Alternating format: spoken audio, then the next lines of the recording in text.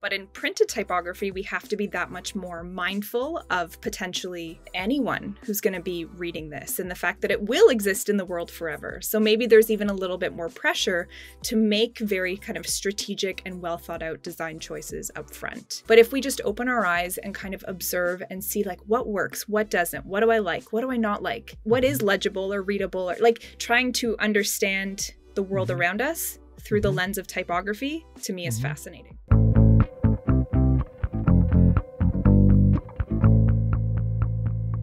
Hey typographer, maybe your main focus is on digital like mine, and then the permanence of print can be a bit intimidating.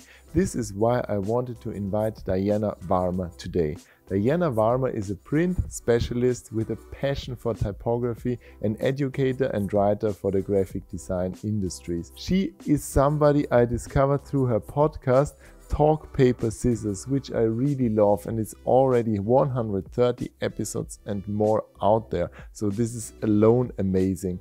I really appreciate the series of an incomplete history of type that she's sharing there with a lot of nice insights if you're not familiar with them. But from our conversation today, we want to focus on print and what you can learn if you want to get started with this or have an assignment maybe. In this conversation, we cover the advantages of print over digital in some situations, what readability and legibility are, and what font sizes work best in print also, Diana shares what's the smallest possible font size to print, which just blew my mind. You will learn how you can avoid beginner's mistakes in pre-press also how to best print gray text, which isn't that easy. Also, accessibility is a subject that always comes up during our conversation, and Diana shares how she doubled down on her podcast because her Zoom fatigue students needed an option to learn off screen, which I really appreciate. So, without further ado, let's jump right into our conversation and welcome Diana Varma. Thank you, Oliver, for all of those kind words. That's uh, it's an absolute pleasure to be here, and I love creating content around these nerdy, glorious topics. And so I am excited to uh, add a little bit more to the pool today. Oh, that's awesome! That's awesome. Just for a beginning, where are you based out of from? Just north of Toronto, Ontario, Canada, but more specifically in my daughter's closet. with dogs at my feet. That's where I am located today. Yeah. That's the home office life, isn't it? yes, the office life. yeah, awesome.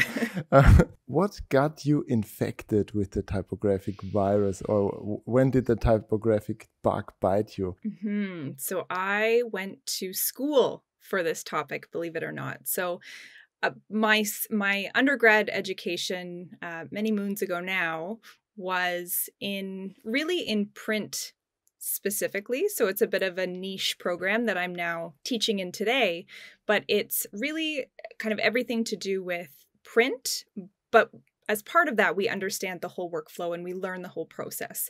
So, part of that was typographic education back in 2004 when I started. And it's kind of, I, I love type and I love books and I love reading and I love exploring what typography has to offer. So when I moved into the working world after graduation, I worked for a book printer and I got to get my hands on all sorts of beautiful type and, and get to see it all kind of come to life in print.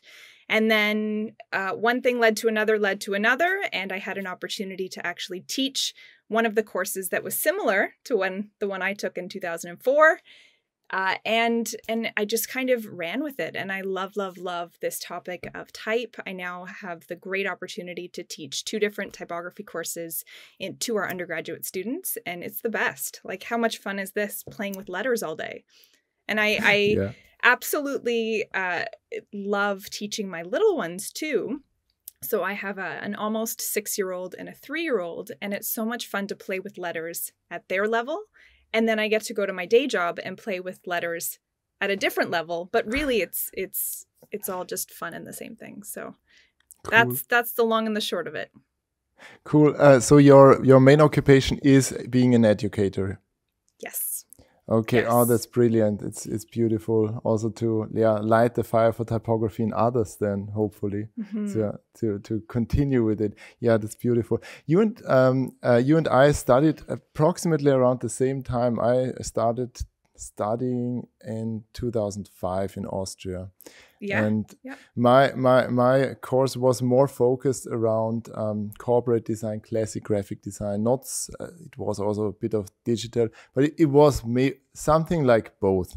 We they haven't really made up their minds yet, and um, I, I I really loved also doing print stuff but I moved more towards digital in the recent 10, 15 years. And actually, I also started out with digital. So this is something that is a bit nearer to my heart, but I always appreciated the haptics of paper and picking something mm-hmm. very special and interesting. And also in on your podcast, I heard a lot about very, very techy details and a lot oh, yeah.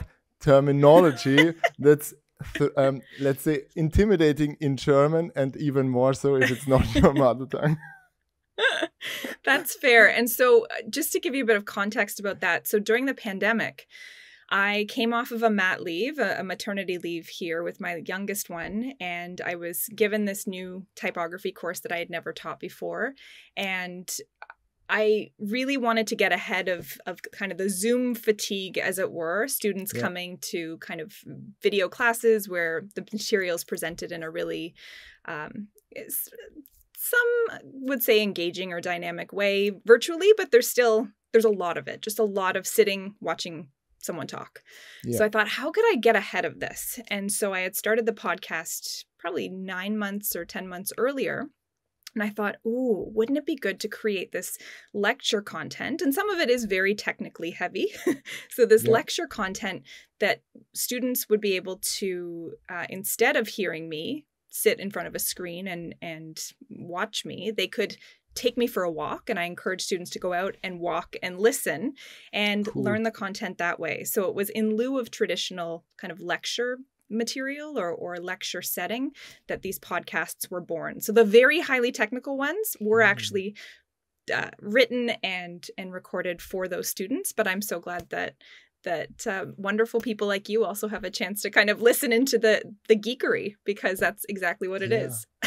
Yeah, I also really enjoy on your podcast that you give others the opportunity to share their knowledge. You invite former students in that talk about their experiences in the work field, and I also really, as I said, like your series, an incomplete history of type where I always learn something new, of course, um, from from these classics, and and they're very concise and very well written.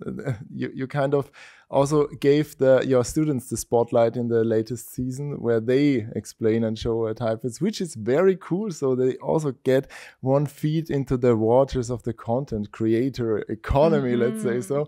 So I also appreciate that a lot since it's a very useful skill later on if they want to promote their work and themselves. So kudos to you for that. Thanks. Yeah, no, it's been really fun. And uh and Oliver, can you just kind of follow me around everywhere and be my hype person? Like this is this is very kind of you. Like my ego yeah. doesn't fit in this this office anymore after talking to you. So no, I, I really appreciate your your support. It's it's been really fun. Yeah, no, the thing really is um, that's the weird when you follow somebody along, you have this weird thing of uh, asynchronous intimacy going on where they. right? That's that's yeah. a funny way to put it, but you're yeah, right. Yeah, you're right. you know them a little bit better after hearing them so much. And it's just weird from the other. Where, where did you get this information from? uh, actually, from you, from one episode. Really, I said that one. Yeah. So that's always that's fun. Funny. So, but when it now comes to print and typography, um, mm-hmm. As we also said, you're as a specialist for print. Would you say that there's still something with all the possibilities that we nowadays have in digital typography, with mm-hmm. all this high resolution, this flexibility, variable fonts that can be animated and moved and stuff. Would you say that there is something that we as digital typographers still could learn from print typography and also what we maybe then what what still works better on paper compared to screen? Yeah, this is a great question. I love paper well, the name of my podcast is Talk Paper Scissors. I I love paper, I love print, I love everything about holding something in your hand and being able to to really enjoy it in real life and it not be a digital device. But I think there's a couple of things that that kind of um, still work better for printed typography versus digital.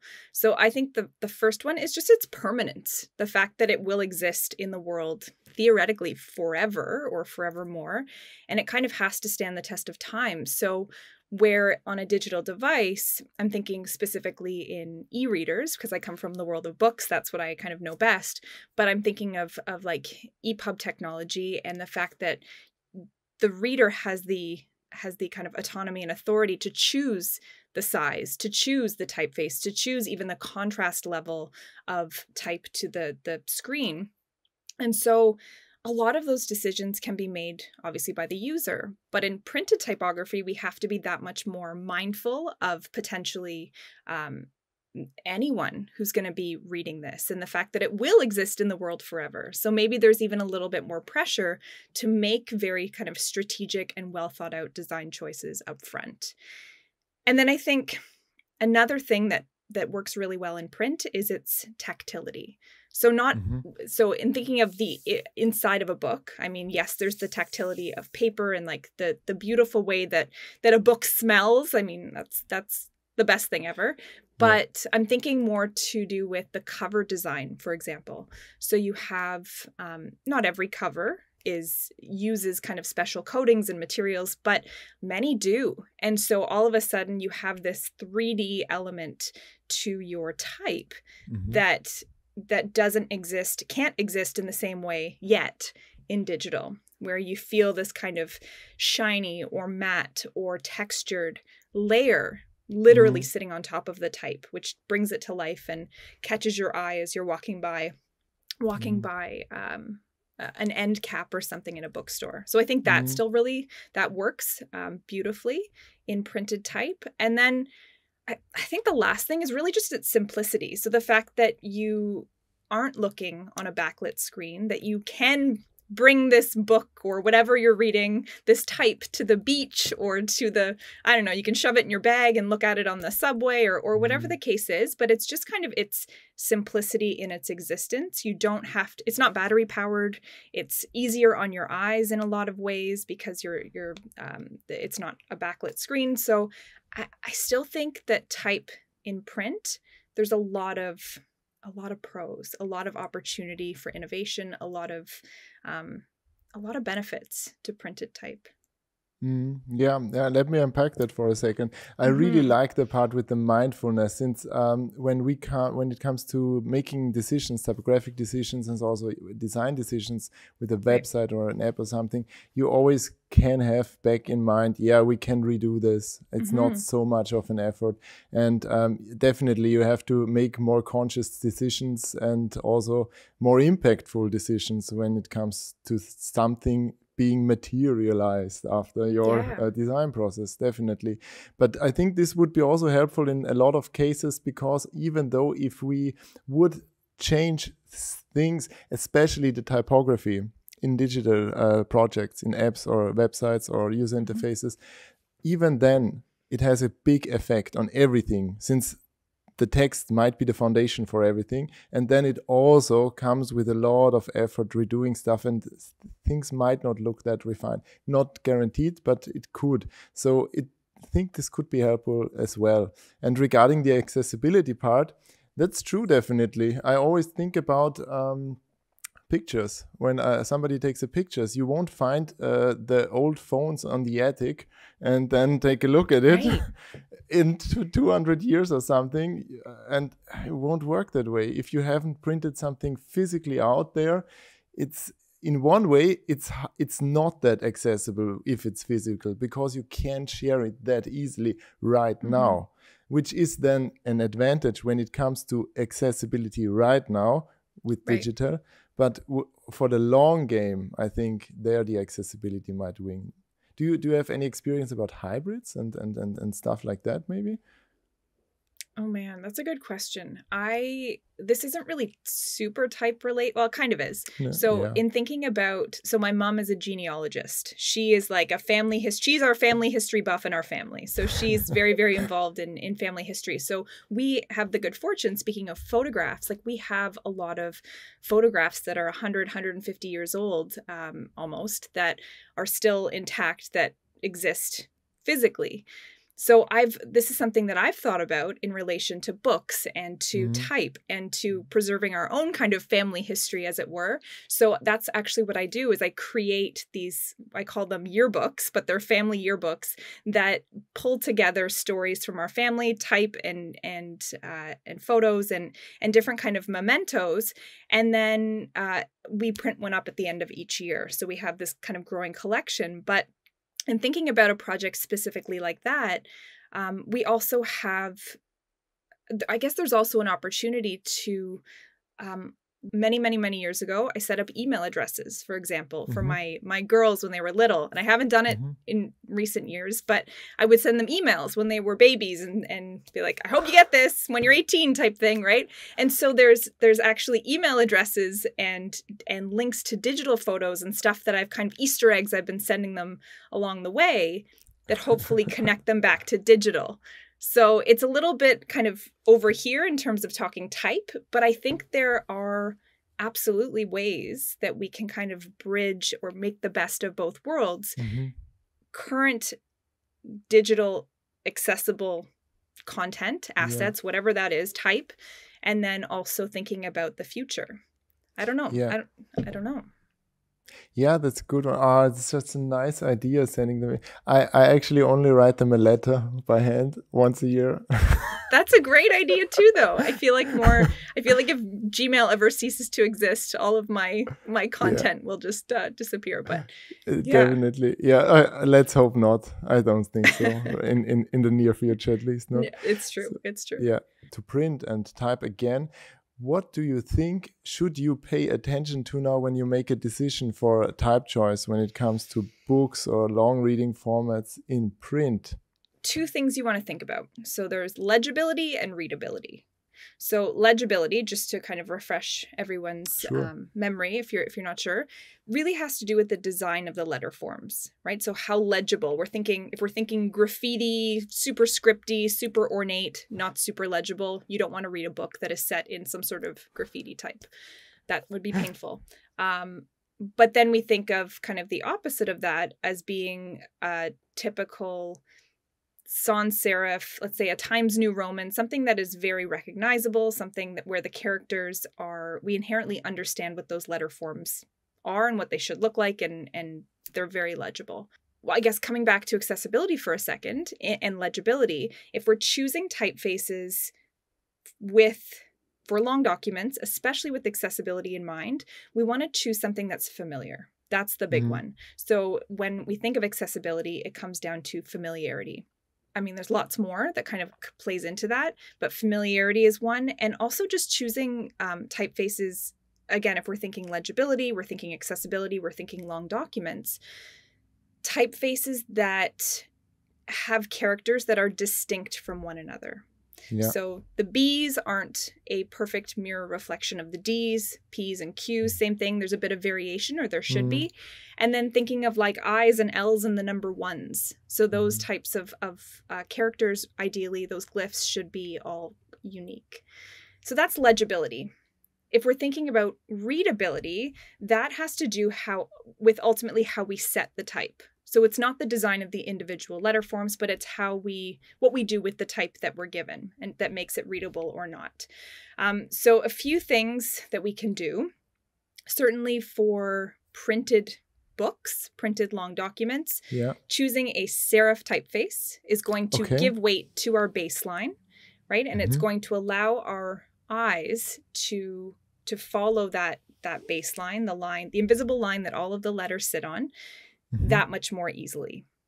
So choosing yeah, choosing a serif typeface for long documents is often a very good idea for that reason. And then in terms of things like if we're talking readability and typeface choice, size is another big one. So body copy anywhere between 8 to 12 points. If you're thinking about accessibility, it might be uh, a little bit larger than that. So you might be mm-hmm. anywhere from 12, 14, 16, 18 points even. So that that mm. um, could change.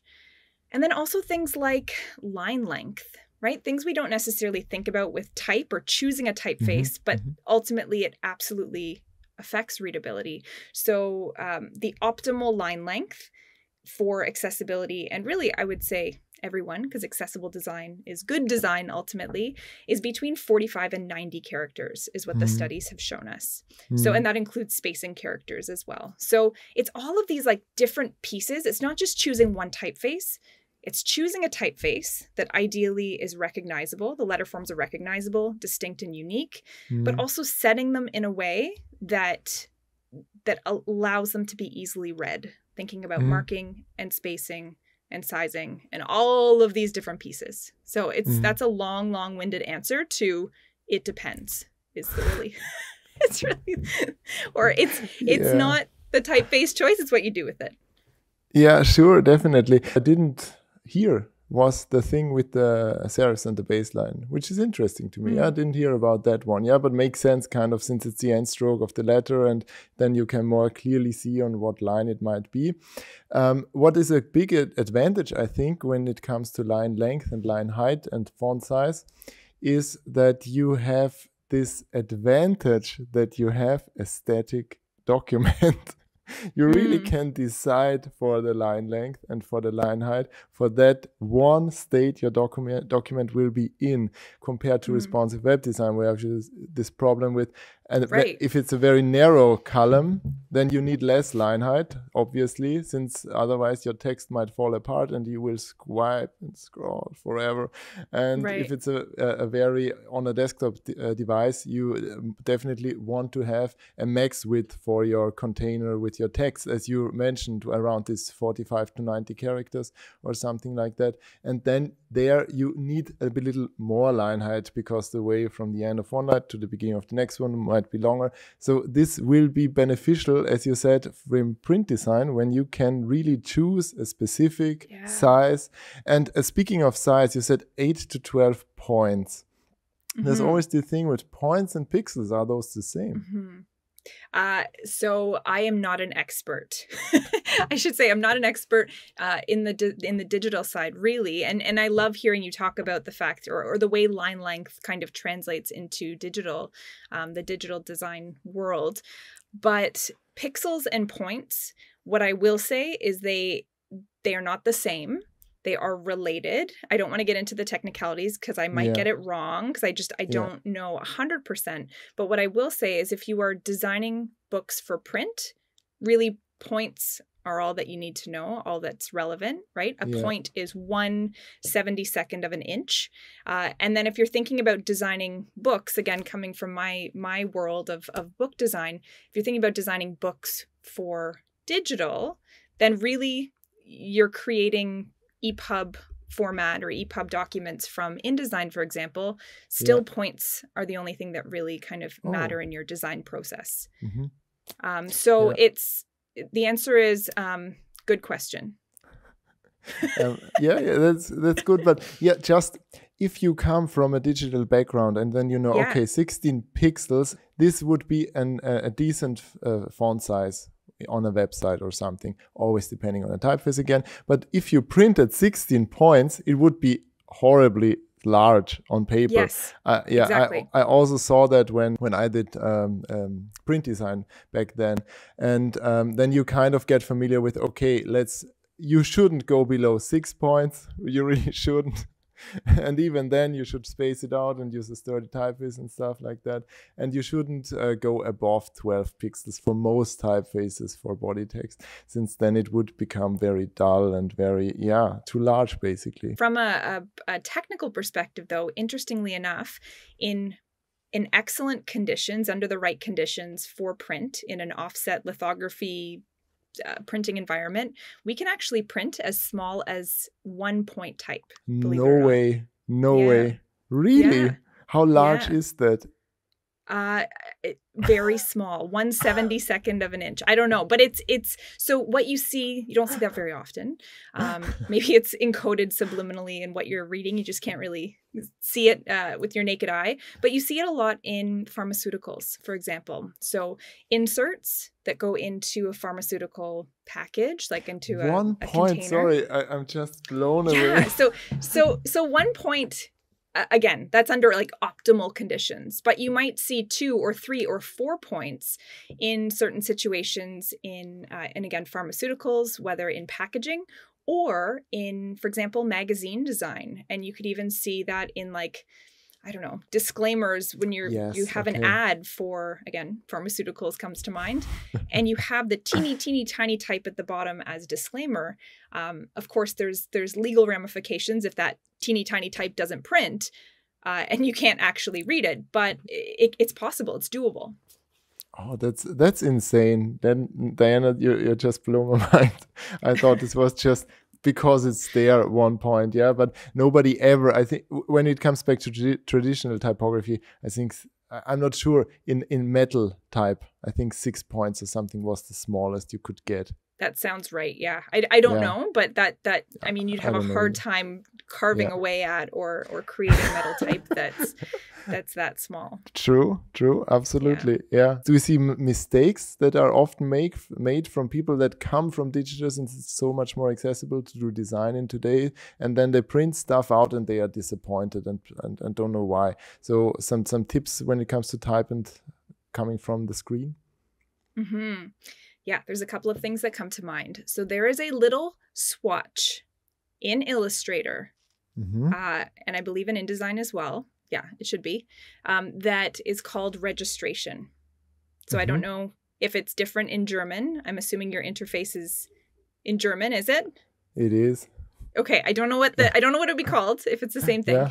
but it is um, i think that should be under like lock and key because what registration means. It looks like a black swatch hmm and you can't delete it. It's it's permanently affixed there Mhm. with the square brackets in InDesign. Hmm but what what that is is it's four colors. So you've got 100% black 100% cyan 100% yellow 100% magenta. So you have 100% of all four colors.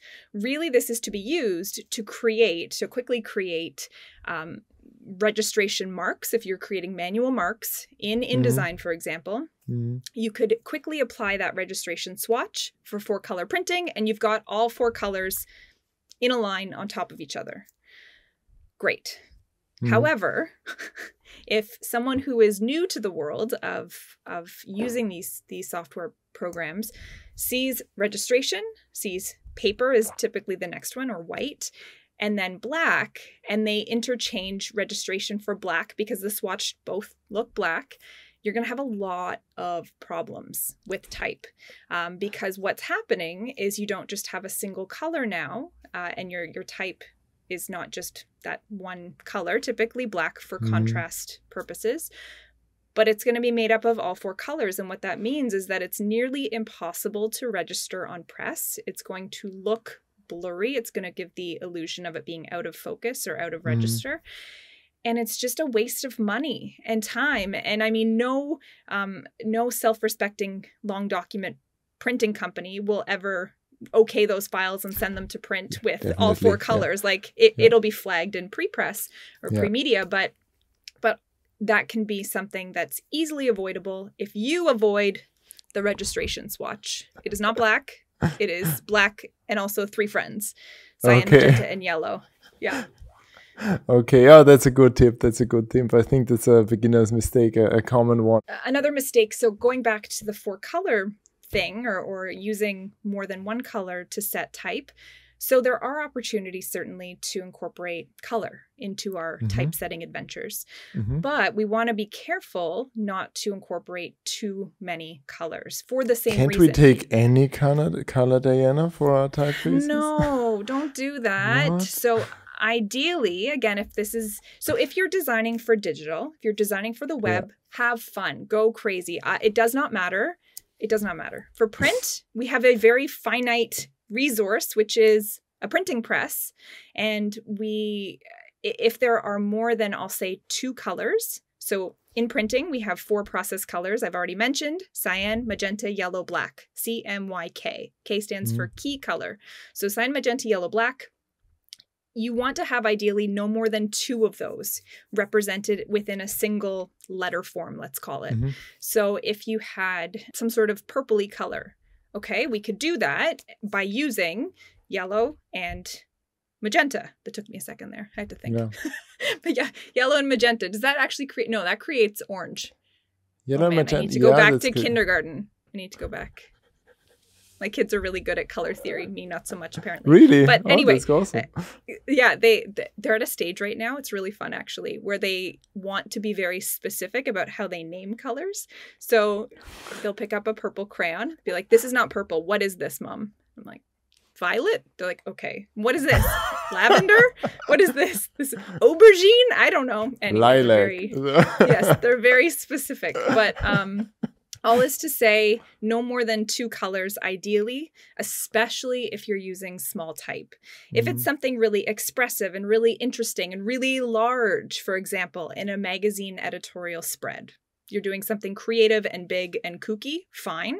Mm. You could use all four colors and, and really experiment, but smaller type for registration purposes on press, the two colors aligning on top of one another, no more than two, please. Please. Okay. Please. Yeah, so you can split up your colors between cyan, magenta, yellow, and key, uh, but you should only use two of them. Since then, as you said, for registration, when you print something, they could be misaligned, and it also depends on the rasterization, I guess, and uh, how how fine the resolution of the of the printing press then will be um, regarding the or the method of print, I guess, and then you will have a smooth um, uh, typeface or you won't.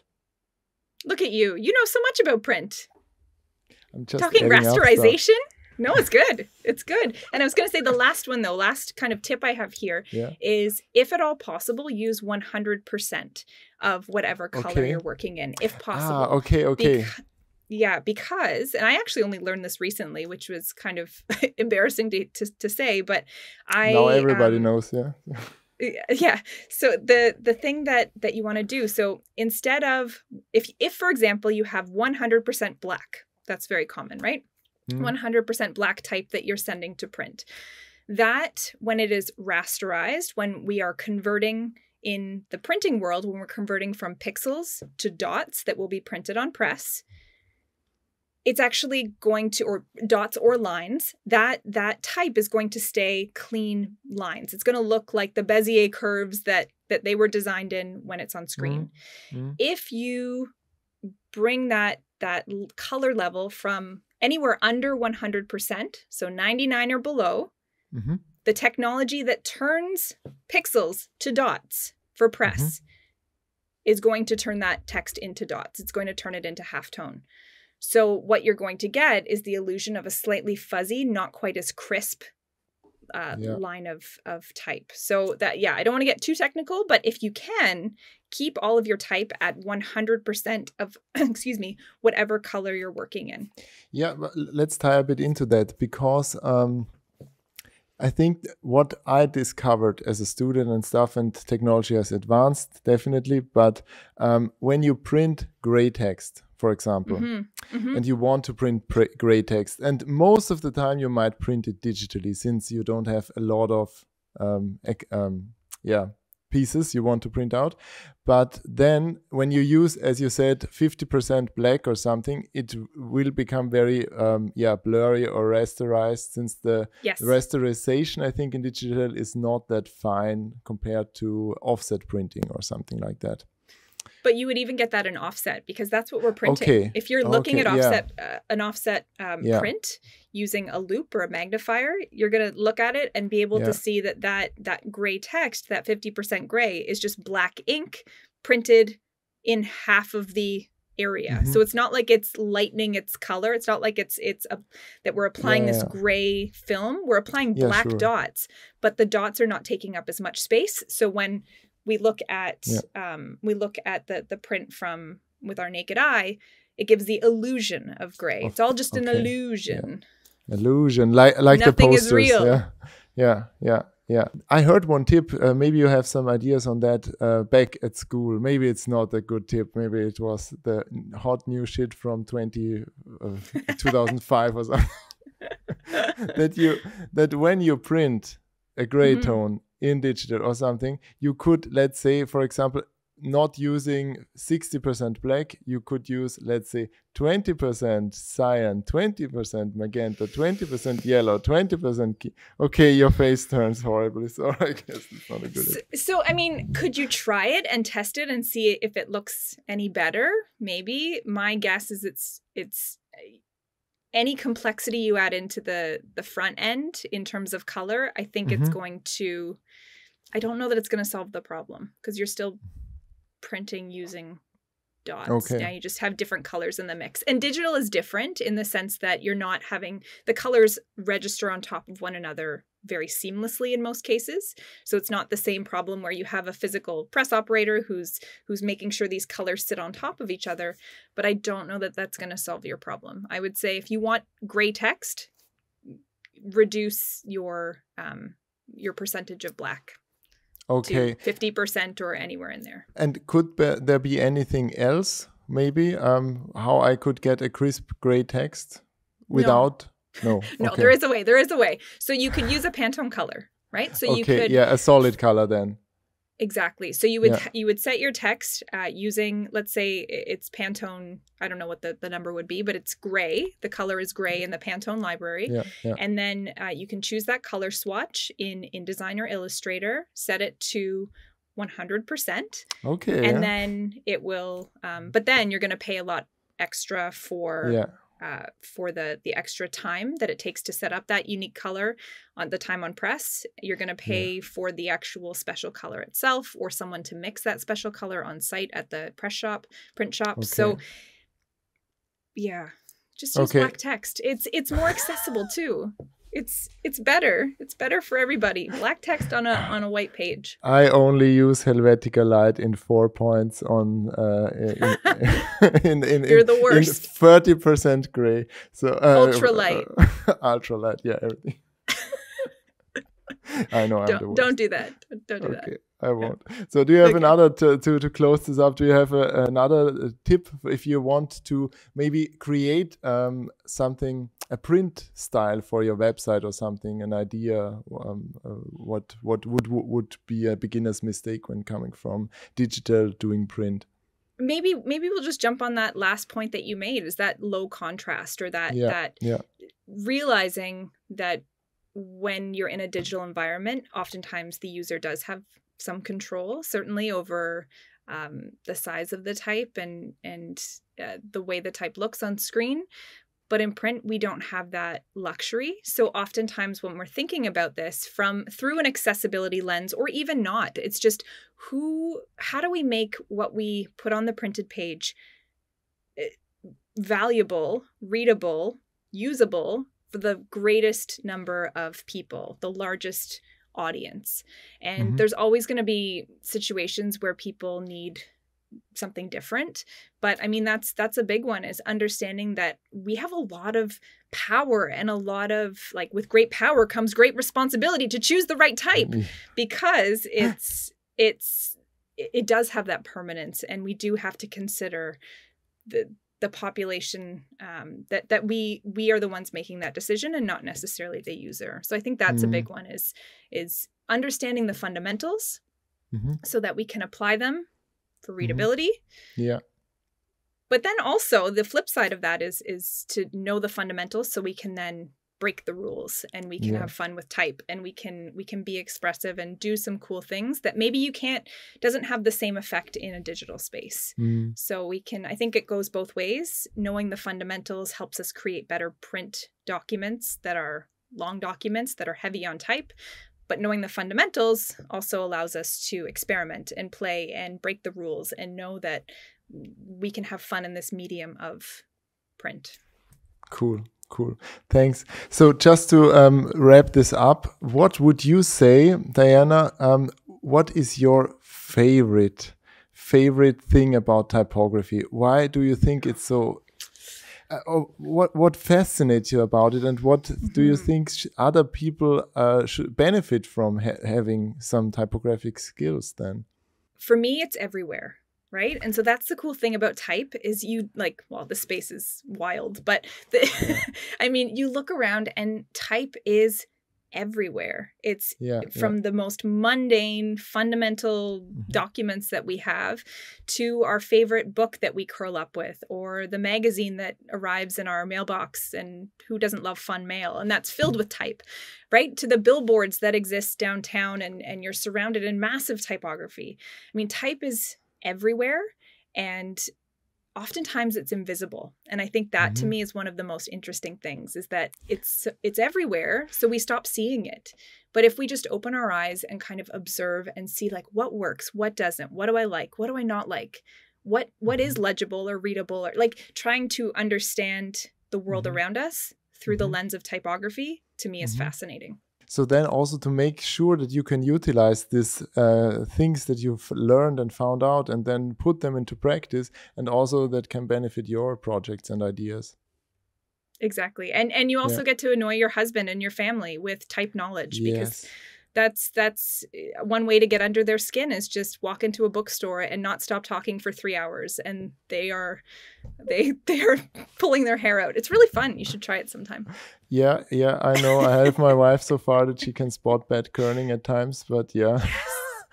But Excellent. actually eh, the, the yeah it's good but it's not that you have a hard life after seeing all that flaws. Yeah, it's bad typography is everywhere as well. Yes. It is, it is, which makes you appreciate good uh, even more. So, um, if you, you you made your your uh, episode with, yeah, as I already mentioned, this brilliant incomplete history of of type, and which is also going on. So, if you only had two typefaces to choose from, what would you rather pick? Would it be Papyrus or Comic Sans? Ugh. This is cruel. This I know. Really cruel. Okay, so I, I am gonna I'm gonna throw it out there. So I've thrown a lot of hate around, um, and my kids would say hate's a bad word, mom. But I've thrown a lot of hate around for both of these typefaces, and I respect both of these designers. I respect the origin stories of both, but they're also both overused. And anyway, I, yes, there, there's I, I said a lot about both. I think I will have to say, if I had to choose one or the other, I would choose Comic Sans. And here's why. From an accessibility standpoint, which is very top of mind for the me these days, as as you've heard throughout this yeah, this yeah. chat, it's uh, quite an accessible choice because each letter form is distinct and unique, and that the D's aren't a perfect mirror image of the B's, and so on and so forth. So, from an accessibility standpoint, I'll choose Comic Sans. Begrudgingly, but I will choose Comic Sans. Fair enough, fair enough. And it's for an invitation at a, at kindergarten. It might be appropriate then.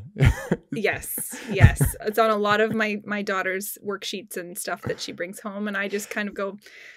Uh, this That's is okay. the time and the place. This the is thing this is, is the place yeah, where it's meant. The yeah. thing is, if if this would be in, uh, in Times New Roman, it Right, it, you're it's right. It's much more appropriate in Comic Sans. Really, it definitely is. So there is a place for Comic Sans. It definitely is. We just have to I find agree. the right one. Yeah, definitely. I agree.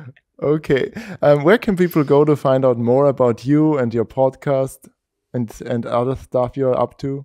Yeah, so the best place to find me is at Talk Paper Scissors uh, and that's on Instagram, so at mm-hmm. Talk Paper Scissors. And then my website, where all of the kind of show notes and additional information with all the episodes and some fun little extras are at talkpaperscissors.info. Talkpaperscissors.info. Yeah, yeah, and I'm yeah, I'm really excited to continue to share in that space. It is something that is completely a passion project. It is it is intertwined with my day job, but it is not my day job, and so it's really yeah. something I do just for fun and to kind of um, um, yeah keep learning and exploring and chatting with cool people like yeah, you in the yeah. in this space. So who knows what that will morph into in the future i don't know but that's that's where you can where you can check me out. Awesome. Yeah and it's really worth uh, taking a look at because what i absolutely like is your um, passion for details and the uh, at the bottom of the page it's such a, such a fun experience to hover on the various images there and not knowing where it will lead you from an accessibility and web design point of view it's horrible but it's a creative yes, it thing there. It is yeah and i agree. but it's the one thing you re remember you'll have to find out why you you connected this image with what and it, just check it out check out the footer at talkpaperscissors.info Easter eggs for everybody. Yes, a yeah, few little yeah, fun extras. So, Diana, thanks a lot for joining. Thank you, Oliver. It has been an absolute pleasure to geek out with you on this world of, of type. Thank you. What a delightful conversation this was. So if you do not have enough already of us talking, then head over to talkpaperscissors.info where I had the pleasure to be a guest and Diana asked me about picking and pairing typefaces. Also, if you found this episode helpful, share it with a friend or somebody who might benefit from it. Really much appreciated. If you're thinking now legibility, readability, what's a good typeface for body text? Actually, it doesn't really matter if it's on print or on screen. There's a video for you. You can click right now to get a practical example. Watch out all the other content, subscribe to the newsletter, and see you in the next one.